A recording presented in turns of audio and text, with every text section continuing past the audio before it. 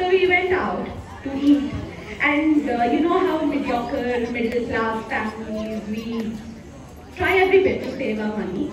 And uh, this restaurant, they were now charging for uh, kids, kids below uh, 7 years eat free. Me and my husband look at each other and 15 years marriage does that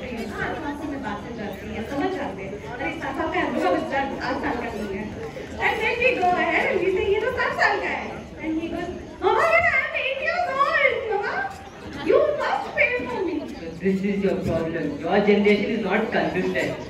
You guys like sometimes you want us to agree with your like you tell us to be honest. Sometimes you tell us to agree with your life. यार माँ बाप की मन की भावना समझो यार जहाँ पैसे बचाने की बात आती है you don't need to be on But you always be like honesty, honesty, honesty.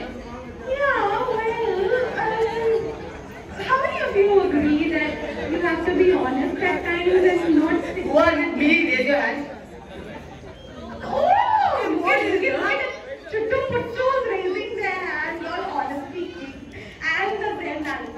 course, with my son.